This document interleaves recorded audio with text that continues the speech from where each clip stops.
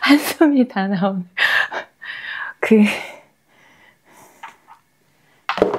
제가요, 잠깐만요. 어, 아.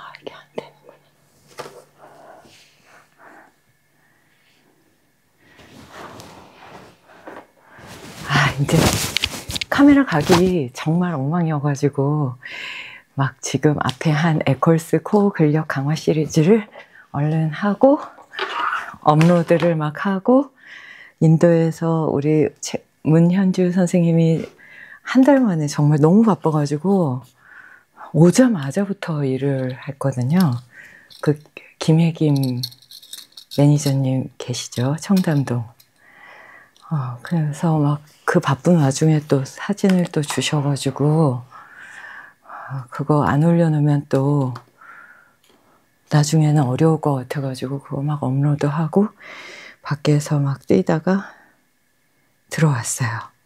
자, 그러면, 음.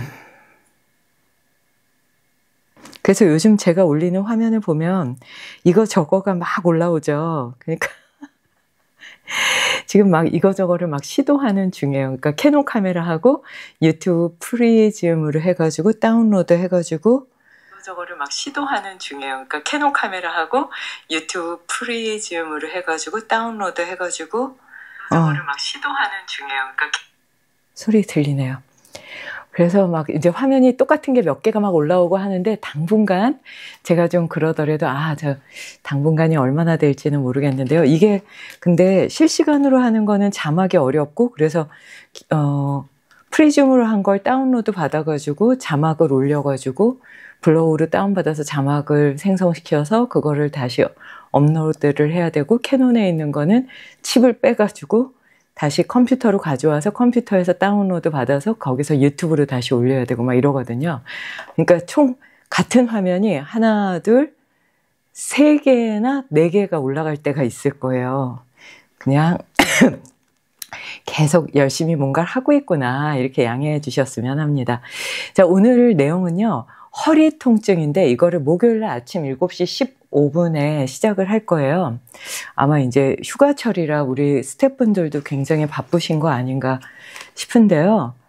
어, 그래서 화요일이었는데 우리 장 작가님이 선생님 언제 목요일이나 화요일 언제 하 가 좋으세요? 그래서 저는 화요일이 좋습니다. 아니 목요일이 좋습니다. 그래가지고 훨씬 더 수아미지 뵙기가 더 일정이 좀 편안해진 것 같아요. 왔다 갔다 왔다 갔다 해야 되겠다 했는데 어, 수요일 날 뵙고 목요일 날 올라가서 녹음하고 수업 들어가면 되니까요. 자, 좀 이제 몇 분 들어오셨으니까 바로 하도록 할게요. 사실 아무도 안 들어오셔도 막 하잖아요. 예, 한 분 계시네요. 예, 바로 시작하도록 하겠습니다. 고요한 명상을 통해 삶의 지혜를 찾는 시간 명상의 지혜 KBS 일라디오 오늘 아침 일라디오에 오승원 아나운서하고 같이 하는데요. 병원을 찾는 일반적인 이유 중에 뭐가 제일 많아요? 이러고 의사 선생님들한테 여쭤보면 허리 통증하고 목의 통증이라고 해요. 허리가 안녕하신가요? 저는 사실 에콜스 요가는요. 허리 통증에 좀 더 어그 뭐라 특화되었다 할 정도로 제가 허리가 걸을 수 없습니다. 휠체어를 타야 돼요. 진단받았던 사람이잖아요. 작년 6월부터는 저는 휠체어를 타거나 식물인간처럼 이렇게 가만히 누워서 도움만 받아야 되는 그런 삶인데, 어, 어쨌거나 뭐 여기저기가 좀 삐거덕삐거덕 거리더라도 잘 걷고, 지금 또 아슈람 언덕을 또 막 열심히 뛰고 막 왔, 잖아요. 그러면 에콜스 요가로 성공한 거 아닌가? 물론 완벽하지 않아요. 그래서 제가 가끔 이렇게 화면 보면 엉덩이가 뒤로 빠져 있기도 하고 영진이 막 춤 동작 가르쳐 줄 때 영진아 나 허리 아파서 이거는 못해. 뭐 이럴 때가 제일 안타깝기도 해요. 제가 제일 좋아하는 게 춤이라.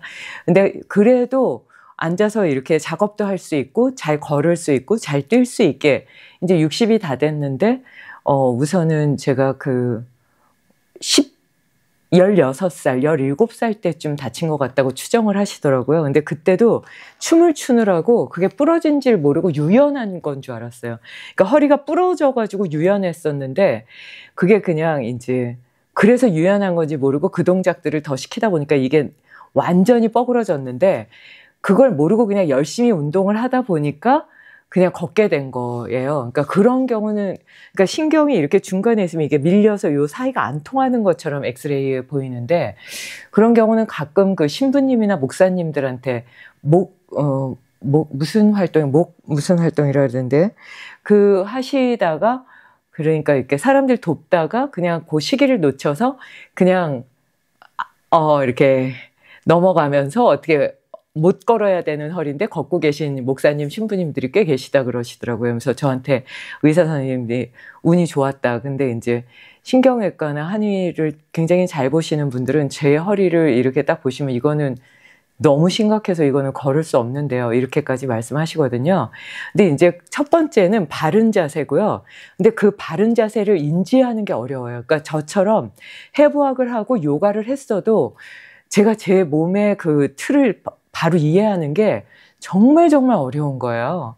그래서 제가 그, 어, 어디지, 대윤 한방병원, 그 신경외과도 공부하시고 한방도 양, 한방을 같이 하신 그 손영진 원장님이라고 제가 여태껏 본 분 중에 해부학하고 그거를 그 뼈 잡는 거를 제일 잘 아시는 분이 아닌가 싶을 정도로 잘 아시는데 제가 그 원장님한테 한번 그랬어요. 내가 이게 요가를 하는데도 뼈가 이거를 잘 못 맞춰서 뼈가 뼈를 잘 못 맞춰가지고 이렇게 와서 너무 죄송하다고 선생님 너무 힘드시죠 막 이러면서 말씀드리니까 원장님 아 아닙니다 저도 제가 이, 그쪽으로 아주 탁월하다고 상도 많이 받으신 분이더라고요. 그럼에도 불구하고 자기도 당신의 그 뼈를 바, 볼 수가 없어서 다치면 가끔 환자보다 마, 다치신다는 거예요. 그러면 이제 걸을 수 없을 정도로 아마 고통스러우신가 봐요. 근데 그러면 같이 있는 의사들이 봐주신다 이러셔서 아 그래요? 저만 그런 게 아니군요. 그러니까 아픈 의사들이 자기 몸 못 고친다 그러잖아요. 요가도 아마 똑같은 게 아닌가 싶은 그런 생각이 듭니다. 자 그럼 이제 그 지금 몇 분부터죠? 7분부터 7분인가요 8분 정도부터 이제 들어가 보도록 하겠습니다. 병원을 찾는 일반적인 이유 중에 대표적인 허리 통증과 목 통증 중에서 허리 통증에 대해서 정리했습니다. 하고 말씀을 드리는데요. 허리 통증은 많은 활동을 제약하고 삶의 질을 감소한다. 말도 못하죠. 그러니까 이게 뭐 들지도 못하고 주변 사람한테 너무나 피해가 되는 거예요. 그러니까 저는 진짜 우리 선생님들한테도 너무 죄송하고 막 그런 거예요. 근데 15년 전만 해도 여기서 막 일할 때 제가 제일 빨리 하고 무거운 거 잘 들고 막 이랬거든요. 그러니까 그때도 그렇게까지 뭐, 그, 어, 막 심각하다 이런 생각을 못 했던 거죠. 마흔, 마흔 초반이었어요. 근데 그때만 해도 그렇게 드러나질 않아요. 근데 50세를 넘어서면서부터 이제 드러나고 55세 넘어서 부터는 이제 막 확 드러나기 시작하면서 57세 되고 이제 8세 되면 점점점 이게 나빠지지 좋아지진 않을 거 아니에요. 그래서 이거를 좀 더, 어, 좋아지게 그리고 조금 더 그 좋은 상태를 유지할 수 있게 만든 게 에콜스 요가거든요. 허리 아픈 분들, 목 아프신 분들 에콜스 요가 하러 오십시오. 통증은 보통 척추의 뼈, 등뼈, 그러니까 척추엽. 그러니까 어디서 통증이 있나를 보면요.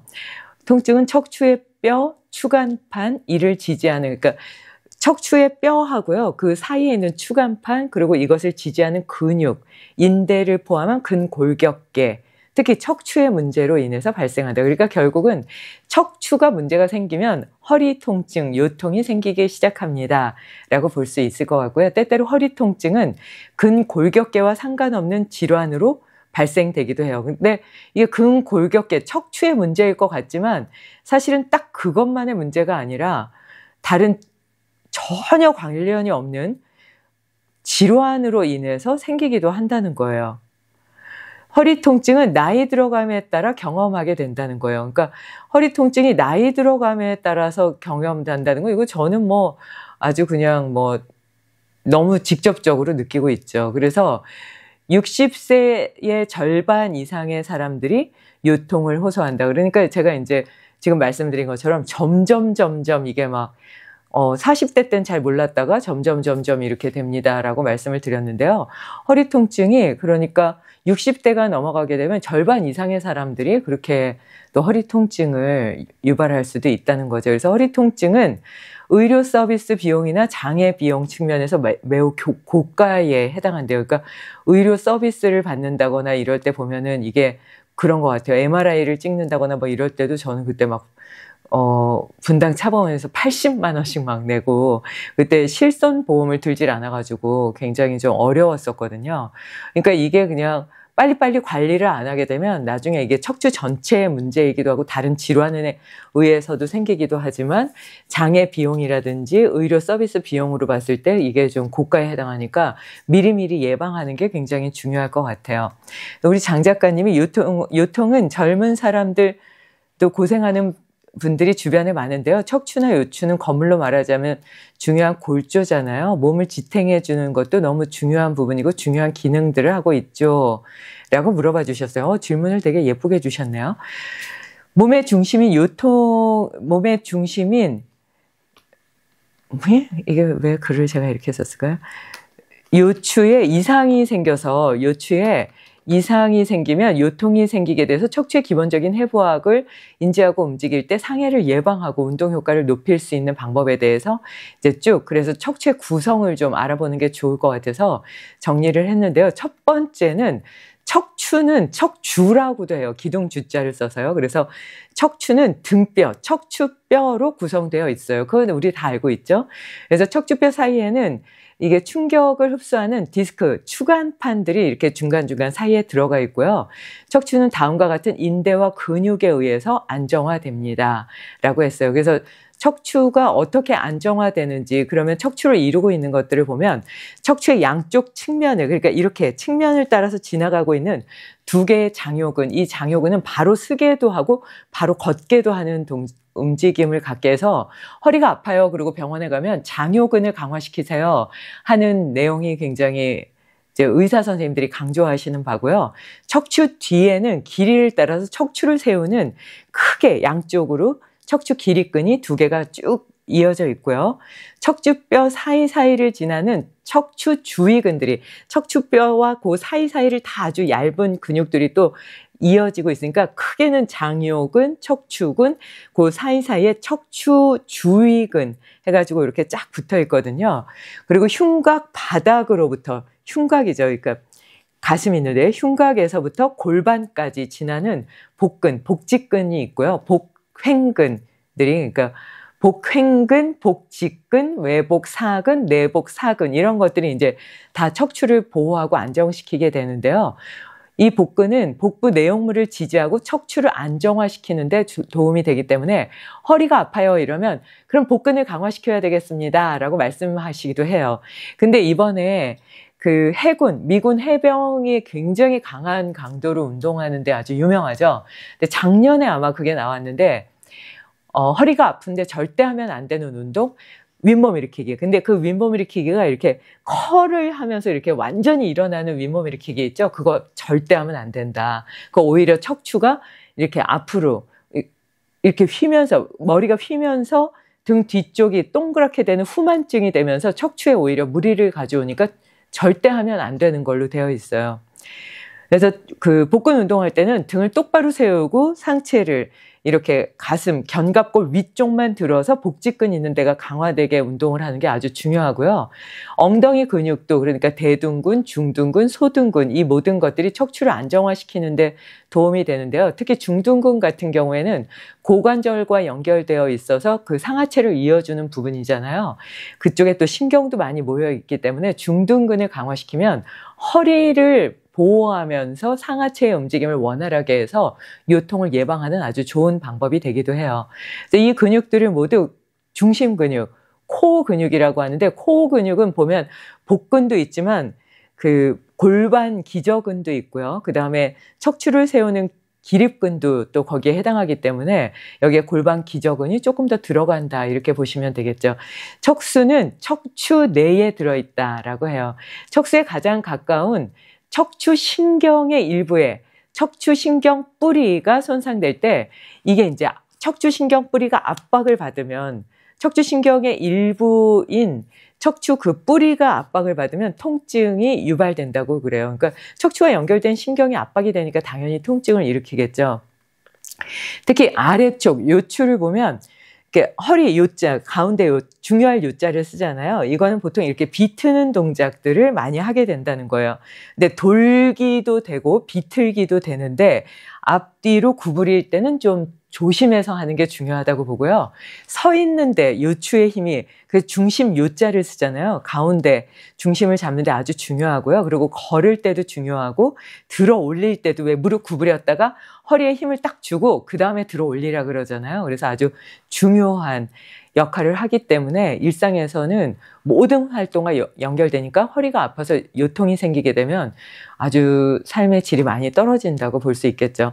허리 디스크 환자들 주변에 많이 보는데요. 겉으로 아픈 티도 안 나는데 당사자들은 눕기도 힘들고 앉아있기도 힘들고 걷기도 힘들고 일상생활이 다 힘들다고 고통을 호소하거든요.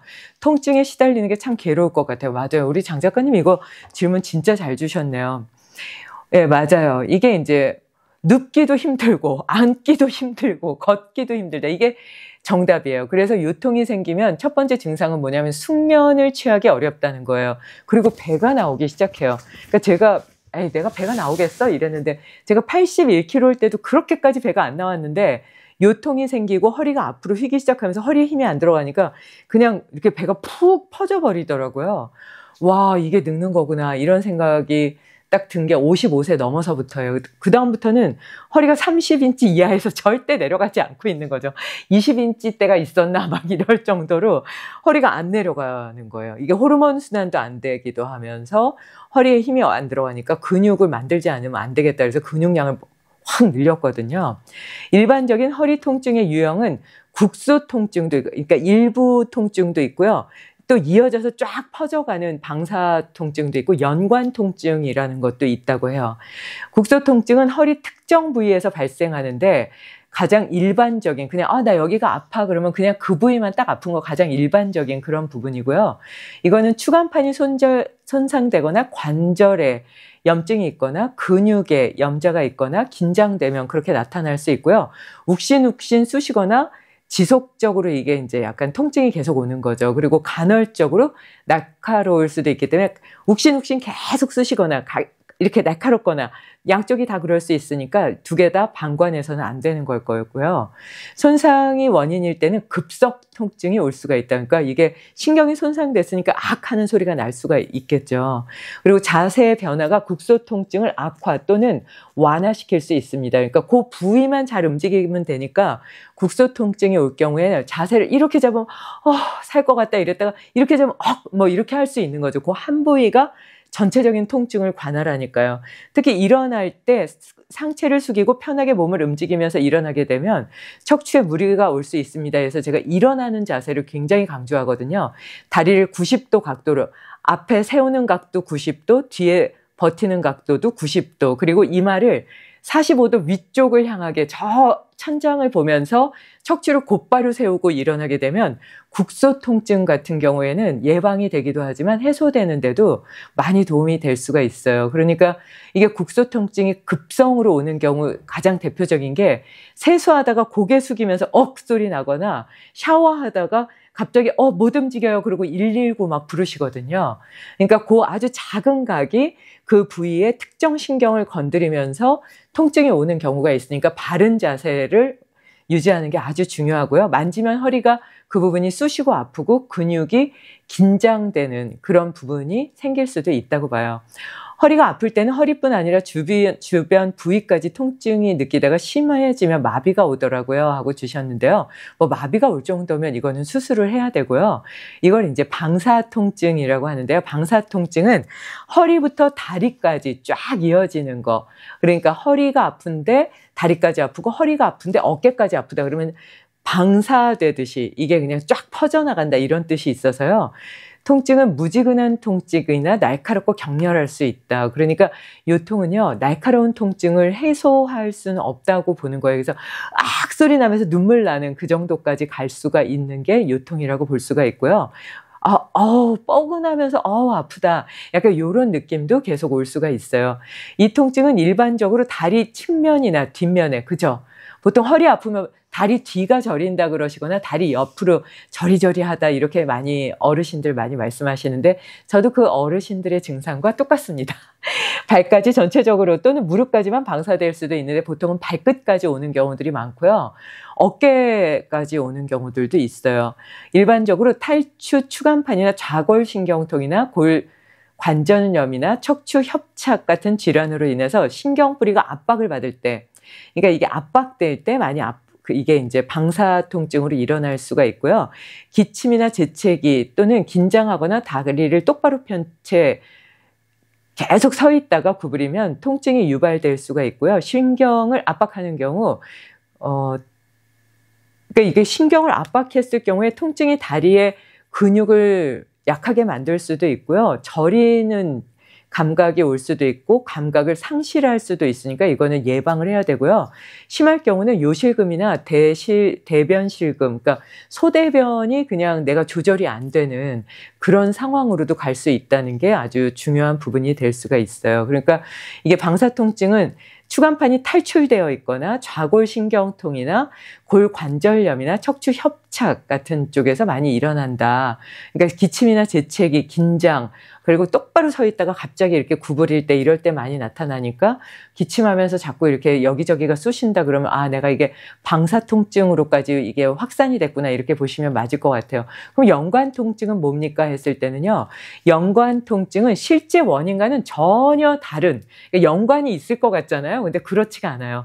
연관이 있을 것 같지만 실제 원인과는 전혀 다른 곳에 심장 마비를 경험하는 사람이 왼쪽 팔에 통증을 느끼는 것처럼 그러니까 심장이 딱 마비가 오면 왼쪽 팔을 부르륵 떨면서 못 움직이는 경우가 꽤 있다는 거예요. 마치 그런 것처럼 허리가 아픈데 갑자기 내가 목 뒤가 땡긴다거나 어, 허리가 아픈데 갑자기 발바닥에 저려서 발가락이 잘 움직이지 않는다거나 이런 식으로 올 수도 있다는 거예요. 내부 장기로부터 허리의 연관 통증으로 쭉 이어지기 때문에 욱신욱신 쑤시는 경향이 있고요. 그러니까 무지끈하다, 욱신욱신 쑤신다. 이게 그냥 요통에는 어떻게 보면 일반적인 통증이라고 볼 수가 있고요.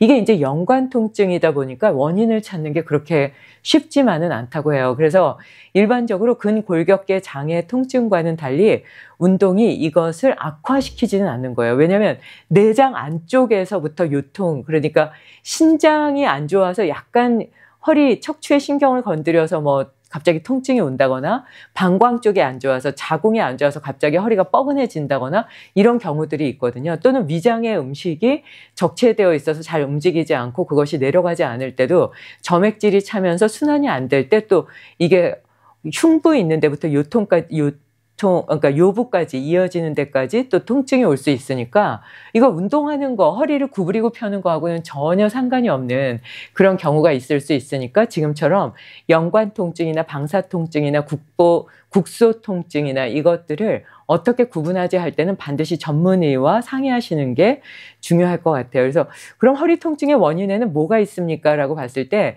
대부분의 허리 통증은 척추와 주변의 관절, 근육, 인대, 신경뿌리 또는 척추뼈 사이의 디스크 질환으로 인해서 관절 뭐 이거 너무나 당연하죠. 척추와 그 주변의 관절이나 근육, 인대, 신경, 뿌리, 척추뼈 사이의 디스크 질환으로 인해서 발생하는 게 맞죠.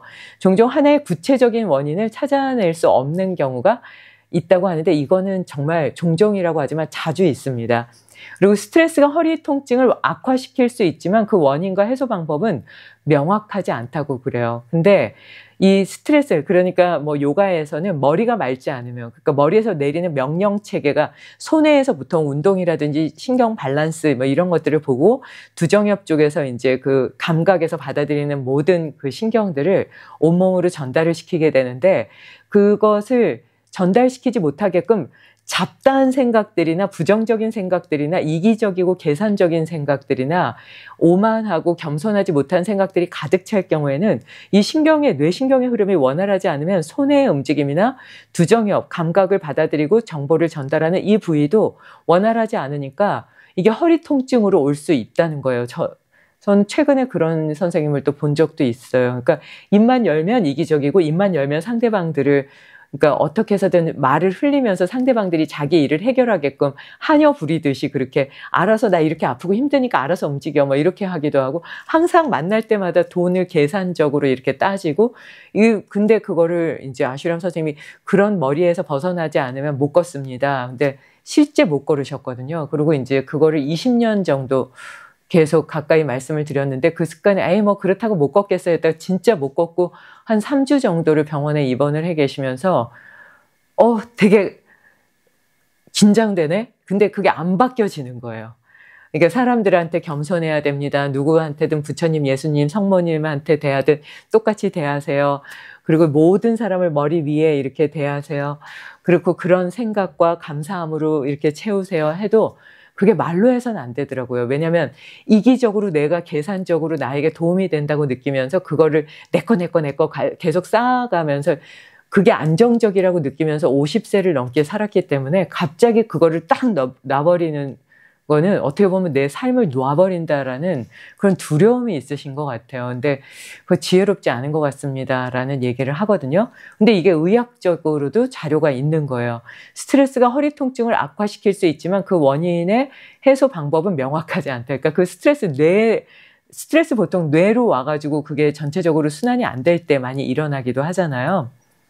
그래서 허리 통증은 암이라든지 제가 이제 그 얼마 전에 그, 음, 신문사 대표님도 암이셨을 때 허리가 너무너무 아파서 앉지도 쓰지도 눕지도 못 하시더라고요. 그래서 정말 안타까웠거든요. 그래서 아내 되는 분하고 저하고 그 허리가 너무 아프시니까 암, 암이 오면 대부분 허리 요통은 조금 벗어나기 어려운 부분들이 많이 있는 것 같아요. 이게 중추신경을 다 건드리는 것 같거든요. 그리고 부인과 질환, 그러니까 월경 증후군이라든지 자궁, 방광, 생식기 계통의 이상이라든지 신장의 이상이라든지 비뇨기 질환, 그리고 소화기 질환, 척추 근처 주요 동맥 질환, 척추 외부 질환이 원인이 되는 경우도 많으니까 그 원인은 정말 많은 거죠. 척추 뿐이 아니라 그 외부에 있는 것들이 질환의 원인이 될 수 있다는 걸 이해할 필요가 있을 것 같아요. 허리 통증의 흔한 원인을 보면요.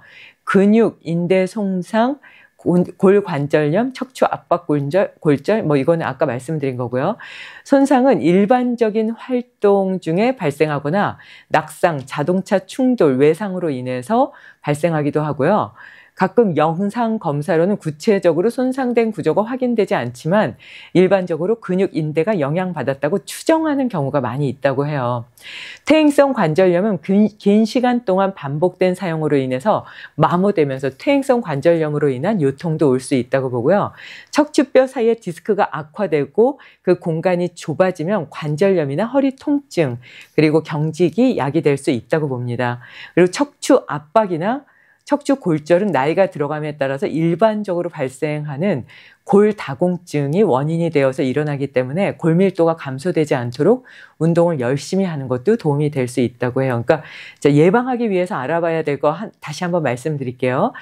일반적으로 물건을 들어 올리거나 운동을 하거나 예상치 못한 갑작스러운 움직임 이렇게 쓰러지거나 넘어지거나 하는 경우 있죠.